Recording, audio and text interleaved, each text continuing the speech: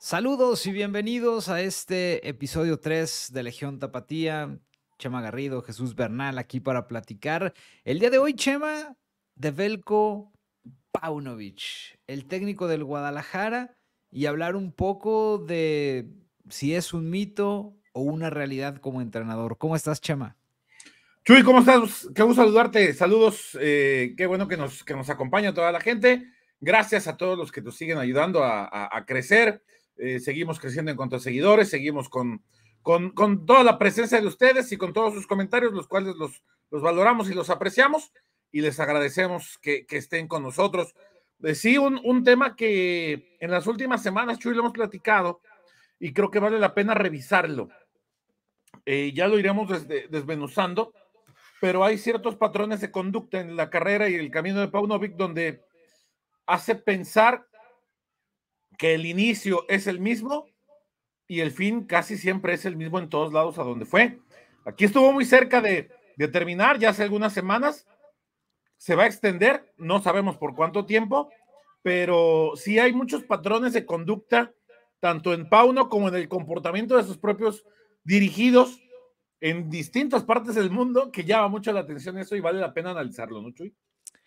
Sí, vamos, vamos a entrar justo a profundidad para platicar de este tema, porque eh, me acuerdo, Chema, que hace unos días tú me, me mandabas un artículo que veías en internet donde explicaba toda la situación que vivió en el Reading allá en la, en la segunda división de Inglaterra, en la Championship. Pero antes de ir con eso, eh, quisiera que platicáramos primero un poco de, de, todo lo que ha vivido aquí en, en el equipo del Guadalajara. Eh, no sé si compartas pero pues hizo algo inesperado el torneo pasado, que es meter a Chivas a una final. De hecho, yo en algunos espacios lo comentaba, a mí me parecía que la final le llegó muy rápido a este proyecto porque siento que no estaba listo para eso. Tan es así que le sacaron un 2 por 0 en, en su momento. Esta gestión que tuvo del primer semestre, ¿a ti qué te pareció, Chema? Fíjate que en distintas cuestiones fue buena, el hecho de que Chivas recuperó un poco de su esencia, un poco de volver a las bases en cuanto a, sí, rescatar jugadores que se, que se, convirtieron en futbolistas importantes, como el caso de Víctor Guzmán. Volver a las bases a un costo muy alto, ¿no? Porque al final de cuentas el Pocho es, es, es canterano de Chivas, pero tuviste que repescarlo a un costo muy alto y eso significó desprenderte de un jugador hasta cierto punto valioso, como era el caso de Canelo Angulo, que era un jugador que crecía, que aportaba, que si bien no era el gran referente de ataque, sí era un jugador que era capaz de solucionar en distintos escenarios, siempre y cuando el jugador se sintiera cómodo y, con las condiciones de poder aportar. Y, mira que hoy, por ejemplo, en la estadística nos dice que el Canelo es el jugador que más participaciones tiene en gol en la liga. Entre goles, asistencias y preasistencias es el que tiene más dentro de todo el fútbol mexicano. Eh, pero creo que al final no se extraña, ¿no, Chema? O sea, llega el Pocho y el Pocho se echó al hombro al, equipo y, lo hizo llegar a instancias eh, inesperadas. Sí, a, eso iba. Chivas volvió a esta, a esta cuestión, recupera a un jugador muy importante como Víctor Guzmán, que como bien dices, hace que el tema de Canelo Angulo quedara en el pasado, quedara pues solamente atrás, ¿no? y y para muchos incluso hasta como buen negocio. Para mí no lo fue tanto, porque a lo mejor Angulo en este escenario quizás sería otra cosa, pero es algo que no, no, podemos saber. El primer semestre en términos generales es bueno, eh, porque Chivas eh, no solamente, más allá de los números y de la estadística, que es haber llegado a una final y, estar muy cerca de alcanzar el, título de liga, eh, logró una identidad, que es algo que le gusta mucho a la afición más allá de que no terminaba por convencer a todos. Un estilo de juego muy claro y muy marcado. Un estilo de juego donde el equipo comenzaba agresivo. Esa agresividad le alcanzaba para tomar ventaja en los marcadores.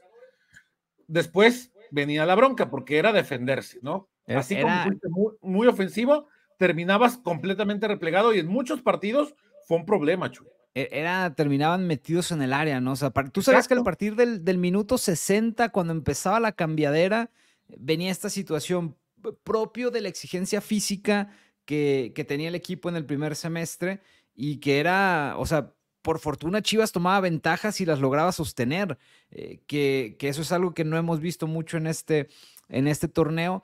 Y, ahí coincido, ¿no? se estaba muy marcada esta agresividad del equipo para recuperar la pelota y ofender. O sea, tenía, tenía mucho, mucho esa parte eh, que me parece ahí habría que darle el mérito a Pauno, ¿no? De, de otorgarle ese sello de inmediato prácticamente desde que llegó a Chivas. Y te vas a acordar, hubo partidos en los que este sello se hizo muy, muy claro, muy evidente, muy hasta vistoso. Se convierte Chivas también en el mejor equipo jugando fuera de casa. Fue junto con Rayados de Monterrey el equipo que, mejores resultados consiguió. Inicia el torneo con una victoria sobre Rayados, 1 por 0 bajo este eh, diseño de partido que ya decíamos, contra Juárez. Eh, contra Pumas en calidad de visitante, a Tigres fue y le ganó, a lo mejor ese partido sí lo recuerdo con un poco más de comodidad para Guadalajara, eh, contra León también en el torneo pasado, en fin. Visitas bravas, visitas, bravas. Visitas muy complicadas y Chivas consiguió, si no me equivoco, fueron seis victorias de visitante, no, cinco de visitante y cinco de local, porque fueron diez victorias en torneo regular eh, en total. Eso le dio un sello. Eso le dio una característica. Para algunos vista de buena manera por estos buenos primeros tiempos de un equipo intenso, agresivo, dinámico y con buen toque de pelota. Para otros negativo porque no era capaz de sostener ese ritmo tan alto y de marcar esa diferencia y de marcar una estabilización en el equipo. Terminaba siempre, como ya decías, metidos en, su propia área. Hubo partidos donde también esa, esa intensidad no le alcanzó. Me acordaba del partido del torneo de, de liga contra Puebla el, semestre anterior, donde días después el Pocho terminó reconociendo que rivales de este tipo les ofrecen prima triple y, se matan en la cancha, literal, ¿no? Para, para conseguir un buen resultado. En ese partido lo único que le faltó a Chivas fue el gol.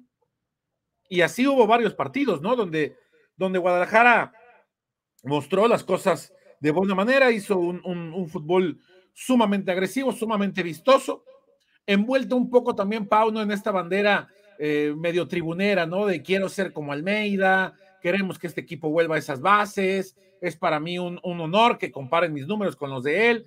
Pauno es un tipo tribunero también, ¿no? Y que lo hemos visto, eh, me consta, lo he vivido, lo he visto, ¿no?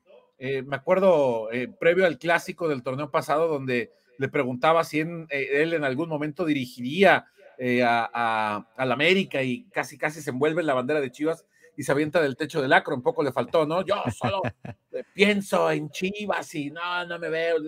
Es, es un técnico tribunero, ¿no? Este, cuando vienen los malos resultados le da por pegarle a la mesa en las ruedas de prensa, en fin, tiene estas características que, que, que, que, hacen match con la afición de Chivas y está bien, más allá de que eh, con todo y la, la final ya, ya, ya iremos entrando un poco más a ese tema, le hizo perder mucha credibilidad que había ganado en el semestre, porque la afición de Chivas es así, es una afición especial, una afición muy intensa, muy exigente, eh, y que bueno, para algunos estará bien visto, para otros no. Así como Pau no ha ganado credibilidad, creo que también ha perdido un poco de ella por, por esta misma situación, por esta falta de resultados y sobre todo por la falta de manejo de grupo, que también eso podemos ir entrando poco a poco. Sabes, eh, tocando el tema de la final, eh, yo creo que ahí una gran situación fue que a Chivas eh, le hicieron lo que no le habían hecho, que era sacarle partidos. O sea, por lo general cuando el Guadalajara se ponía en ventaja el torneo pasado, incluso en este también, ¿no? Suele mantener los marcadores, aunque sufre de repente demasiado, pero bueno, cuando tienes enfrente la calidad de un equipo como Tigres, con la experiencia que tienen finales y que Chivas, pues literalmente está muy nervioso, la, situación comienza, comienza a cambiar. Y aquí es donde yo quisiera eh, caer justo en esta parte, porque es algo que hemos visto en este torneo. O sea, eh, dentro de, ya me hizo ahí un zoom medio raro la cámara, dentro de eh, esta, esta situación de no del manejo de juego, sino de sacar los resultados, queda muy claro que si Chivas se va en desventaja, a Pauno le cuesta un mundo poder modificar el plan inicial para sacar un partido.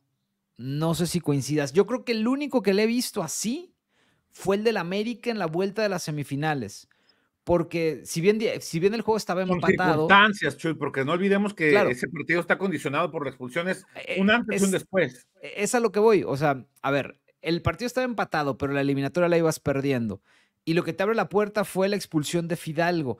Pero es el único juego donde yo recuerdo así, ah, mira, pues salió, ¿no? Y uno por ahí contra Tijuana el torneo pasado que le dieron la vuelta, pero bueno, estamos hablando de un Cholos que andaba en la calle de la amargura ya en los lugares 15, 16 de la tabla general. Entonces yo creo que ahí es como un punto de mejora, por decirlo, o sea, una situación que, que, creo hay un patrón ya, ¿no? Esta parte de que si Chivas se va en desventaja, prácticamente imposible que pueda remontar. Pauno no es un técnico que podamos decir es un estratega per se, y lo vemos partido a partido en sus cambios. No es un técnico que constantemente haga un cambio de formación, habitualmente sus cambios vaya ganando o vaya perdiendo, bueno, yo creo que ahí sí depende. Para que vaya perdiendo, sí decide hacer de repente un 3-3-4 y mandar hasta cuatro tipos adelante. Pero si va ganando, habitualmente es un tipo que no se mete en dificultades, no se mete en broncas, posición por posición. Saca a Beltrán, mete a, Pavel Pérez. Saca a Marín, mete a Ríos eh, o a Ronaldo. Eh, saca a Mozo y mete a Chapo. O sea, cambios así, vamos, donde, donde no es de que saco un defensa, reconvierto a línea de tres para hacer un equipo más agresivo, aparecer por sorpresa. Pauno no es así. Y, bueno, a, final de cuentas, este plantel es hasta cierto punto vasto y, tiene de dónde echar mano en algunas posiciones específicas para que esto le funcione.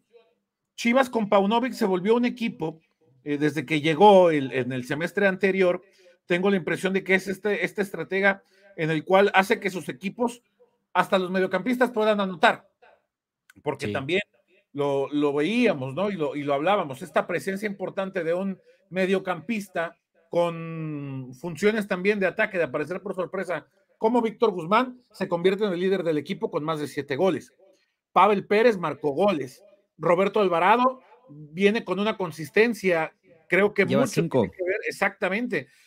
Eh, Roberto Alvarado viene con una consistencia que le benefició mucho este sistema y que a lo mejor en otros esquemas no le funcionaba tanto, que esto permite, por supuesto, también a que eh, tengan un, incremento. Se han dado las cosas. Insisto, hablaba de un match entre afición y técnico. Acá también tiene que haber una, una combinación positiva entre futbolistas y cuerpo técnico que también ha ayudado a potenciar en algunas cuestiones sin que el técnico sea, creo yo, eh, un, un, un Mourinho en potencia, ¿no? O un técnico de esos, de esos niveles. Fíjate que yo ahí sí le daría, por ejemplo, eso, ¿no? Es, es un estratega, un director técnico que sabe encontrar la manera de aprovechar a sus jugadores y repartir los goles. O sea, no, no cae en el 9. O no sé si fue víctima de las circunstancias de que no hay un 9 confiable en Chivas y decidió hacerlo de esta manera Belko Paunovic, ¿no? Pero pisan el área los mediocampistas que vienen desde atrás por lo general. Pero en, la forma de atacar, y ya que caemos en ese tema, Chema, hay algo que a mí no me gusta. Y que a Pauno sí, porque yo escucho en muchas conferencias de prensa que sale a hablar de esa, de esa parte. El equipo tira centros y centros y centros y centros y centros y centros y centros.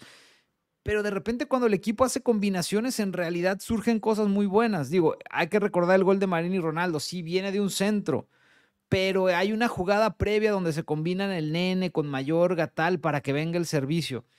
Pero a veces parece que es Inges o avienta el centro de donde sea, ¿no? A mí esa parte no me gusta. Me gustaría más unas chivas con, con más variantes porque siento que tienen sus jugadores la calidad para buscar también otras formas de atacar. Insisto, cuando de repente empiezan a combinar por dentro, lo hace bien el equipo del Guadalajara. Porque, y tiene, como tú lo dices, tiene con qué.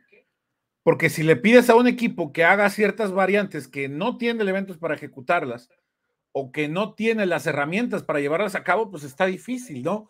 a, la selección mexicana no le puedes pedir, hoy al equipo de Jaime Lozano no le puedes pedir que haga cosas que hacía eh, muy específicamente con Coca o con Martino o viceversa, ¿no? Cada, cada técnico tiene su librito y tiene su forma de trabajar. Cuando Chivas logra encontrarse de esa forma, como bien lo comentas, creo que ahí marca diferencia y se vuelve en un equipo altamente competitivo y peligroso. Pero eh, aquí sería bueno también conocer hasta dónde es lo que, lo que verdaderamente eh, pregona el técnico, ¿no? Si ya en cierto momento de partido, con algunas circunstancias adversas, ya se convierte en un centro, centro, centro hasta que caiga, o un paciencia, esto nos tiene que dar. Sí, yo, yo lo veo más como un tirarse. O sea, es que el equipo, Alan Mozo es el jugador que más centros tira en la liga, pero no todos son peligrosos, ¿sabes? O sea, es, esa parte, yo creo que es cuestión del sistema. O sea, ya que un lateral es el que más centros tira en la liga, es porque el sistema sí lo, lo va señalando. A ver, eh, hablamos ya un poco de, toda esta parte, ¿no? De, los comos y demás de, de Belko Paunovic. Y me gustaría, Chema, que nos compartieras un poco, a grosso modo, digo, para no caer en tantos detalles y demás, como los puntos más relevantes de esta historia con el Reading. Entendemos que le fue de maravilla el primer torneo, que se quedó cerca ahí de, del playoff, si mal no recuerdo, para pelear el ascenso recién llegó. Y en el segundo se vino la debacle. Pero ¿cuáles son, digamos, como esas circunstancias que encuentra similares entre lo que le ocurrió en su etapa en el Reading y lo que le sucedió en el segundo torneo en Chivas, que no ha terminado, pero ya tuvo un pasaje de crisis que duró un ratito? Sí, fíjate, Chuy, eh, este, este hecho de llegar al punto más alto con mucha motivación. Buen trabajo, pero también apelando mucho a la motivación, em, a, la estimulación del futbolista, a recordarle que, tiene con qué, que tiene capacidades para alcanzar los, los, objetivos. Eso le ayudó también en su momento mucho aquí. Y prueba de ello, tuvo que haber esta comparación medio involuntaria, medio arbitraria y también por las circunstancias el hecho de que en la liguilla te tocaran como en aquella ocasión del 2017, primero Atlas, el América con esa remontada que, de, la cual ya hablabas, y, el hecho de volverte a enfrentar a Tigres en las mismas circunstancias, jugando la vuelta en, el eh, eh, en casa, en un 28 de mayo, igual que aquel 2017, tuvo mucho, eh, todas esas circunstancias jugaron mucho a favor de Chivas también, ¿te acuerdas? ¿no? Y, lo hablamos todos mucho en ese sentido. Eh, la parte motivacional en términos generales. La falta de un manejo adecuado en cuanto a, la, a, los, a las voluntades inter, el eh, interior del vestidor. Pero ahí, ahí, ahí ¿qué le pasó? O sea, en Reading también, o sea, mi, mi, pregunta es, en Reading se empezó a tener problemas con jugadores, ¿no? O sea, eso es lo que comienza ahí a, a como hacer que las cosas vayan mal. Gestión de grupo, falta, de, falta de una adecuada gestión de grupo. Acá eh, la, gran diferencia que hoy se ha dado es que hoy todo se detona por la situación, por el Toluca Gate, ¿no? Este, que en, parte fracciona un poco al grupo, pero, pero después lo une todo de inmediato. Eh, y, esa fue la gran diferencia que hoy lo está rescatando, ¿no? Porque el equipo ya venía a pique. La muestra fue aquel partido contra, contra Mazatlán, ¿te acuerdas? Eh, que, ahí fue este yo, creo que hay fondo. Yo, creo que hay un. Antes de Mazatlán, Chivas juega con Pachuca. ¿Y te acuerdas que hace una sacudida al 11? Sí. más o menos. empatan y más o menos. Pero con Mazatlán fuera de bacle. A ver. Eh, pero hay que poner un poco en contexto a la gente, Chema. Porque el grupo, o sea, en realidad lo que sucede es que hay como ciertas decisiones que él va tomando que al grupo no le gustaron desde un haber sacado a Alan Mozo de la final cuando era el único jugador como que todavía traía luces en ese partido, no sé si te acuerdas. Sí. Y meter al Chapo Sánchez. Y después, pues ciertos temas donde dejó de ser flexible como si lo era antes. Eh, o sea, como que hubo un cambio en Belco que a los jugadores no les gustó y se comenzó a reflejar de inmediato en la cancha. Y aquí es como a lo que yo quisiera caer, ¿no? Hablabas al principio, Chema, de de cómo exigía físicamente o exige el modelo de juego de Belco a los futbolistas. Bueno, ¿qué pasa cuando empiezas a perder el control? Pues que cuando, cuando te basas, digamos, como en esa parte, pues es tan fácil como que si el futbolista no quiere correr, pues se acabó, ¿no? O sea, y no le quito mérito a Pauno porque es su modo, es su idea y, y ha dado resultados. El punto acá es que dependes muchísimo de que el jugador esté dispuesto a matarse por ti.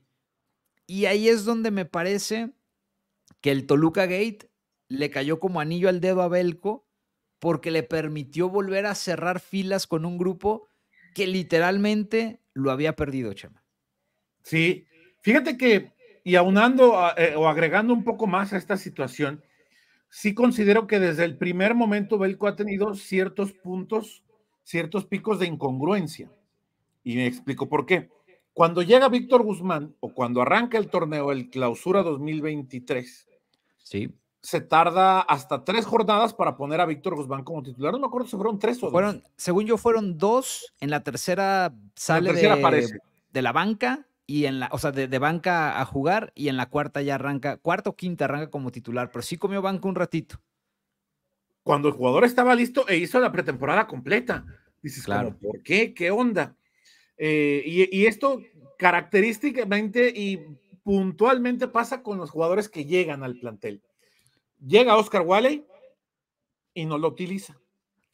Pero llega Víctor, eh, llega Eric Gutiérrez y desde el primer día lo pone. ¿Te acuerdas que lo publicamos en un video con César Huerta donde se presentaban estas series de incongruencias y de eh, pues situaciones que no se entienden, falta de criterios que no se aplicaban del mismo modo para unos que para otros? Y eso Chema del Guti le trajo problemas con el grupo también. No por el hecho de que fuera el Guti como tal, sino porque había jugadores que decían, a ver, ¿cómo insistes con poner a un jugador que no está al 100? Cuando a otros los hiciste esperar.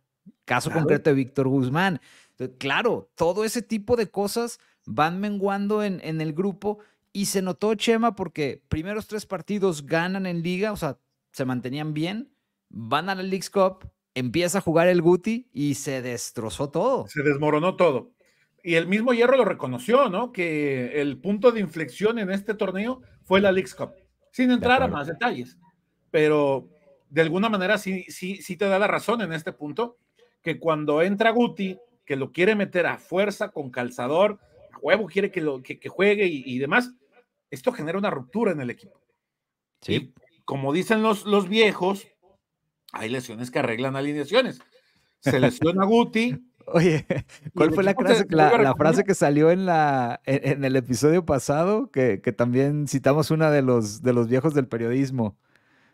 Ay, ¿cuál fue? No me acuerdo, pero digo, ahorita ya salió esta, ¿no? De hay lesiones que arreglan alineaciones.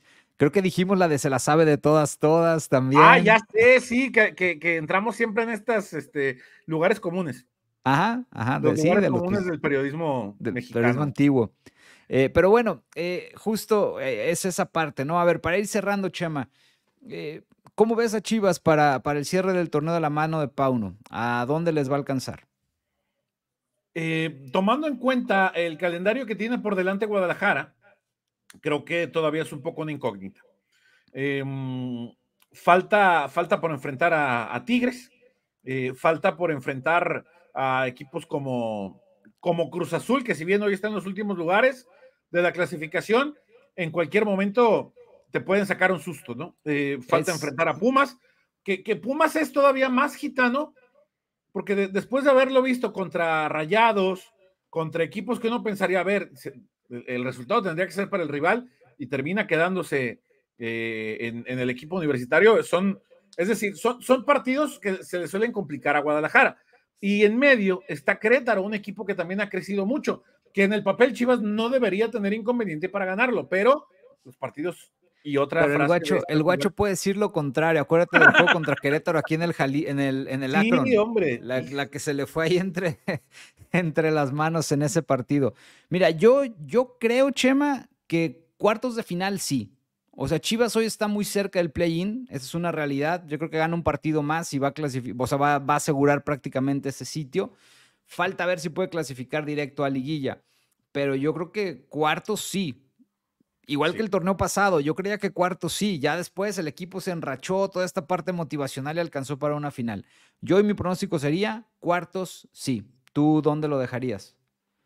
Por lo menos cuartos. Cuartos. Sí, yo creo que es, es lo mínimo a lo que puedas No nos estamos arriesgando, la neta, Chuy, pero. No, este no, pero a ver, habrá que ser sinceros. El América está robando, Tigres está mejor, Monterrey tiene dos partidos menos. Ya, estás nombrando tres equipos que, que fácilmente podrían aparecer. Dos partidos menos y, como diez jugadores menos también. Eh, pero también está San Luis, está Pumas, ¿no? Este. Sí, o sea, pero bueno, nombrando esos tres, pues ya te quitan tres posibles lugares ahí de, las, de las semifinales. Para concluir, Chema, entonces, Belco, ¿realidad o mito de entrenador? Yo creo que todavía le falta para, para que podamos decir es la realidad que Chivas necesita. Realidad sí es. Para, la, para las necesidades de este equipo, se le han acomodado muchas circunstancias, muchas cosas a favor, que también la suerte juega. Yo creo que necesita dar un golpe de autoridad todavía mayor. Yo creo que si vuelve a llegar a una instancia final, ya podremos hablar de, de realidad, porque también las circunstancias, insisto, del torneo pasado ayudaron mucho para que llegara hasta, hasta la última instancia. No de mérito, porque luego, a ver, luego no lo vayan a hacer clip y a, subirlo, ¿no? Este, que estoy demeritando. No, de mérito lo he hecho por Guadalajara, pero sí creo que, a, ver, y lo dijimos desde el principio, fue un antes y un después de la eliminatoria contra América. Y las circunstancias favorecieron mucho. Te estabas enfrentando a un equipo muy superior, que se le vino la noche y, y después ya, ya no, no pudieron resolverlo, ¿no? Y contra Atlas también, porque el Malayo se tiró para atrás y regaló prácticamente, eh, no sé, tres cuartos de eliminatoria, ¿no? Cuando ya estaban las, condiciones para que en otro escenario, quién sabe qué hubiera podido ocurrir. Digo, hay que aprovecharlas también, porque luego hay, veces en las que no se, no se aprovechan. Yo creo que es un, un buen técnico que se va a convertir en una realidad. Todavía es muy joven para la carrera de entrenador, o sea, no dudo que se va a convertir en una realidad pero coincido, todavía le falta, le falta un poco. Y yo ni siquiera iría con lo futbolístico, porque no todos los técnicos son grandes estrategas. Yo iría más con el manejo de grupo, porque hay entrenadores que con eso ganan títulos, ganan títulos. Bueno, pues muchas gracias, Chema, que estés muy bien. Al contrario, un saludo, eh, Chuy, un abrazo para toda la gente que nos acompaña aquí en Legión Tapatía. Nos encontramos en la próxima. Esto fue Legión Tapatía. Bye.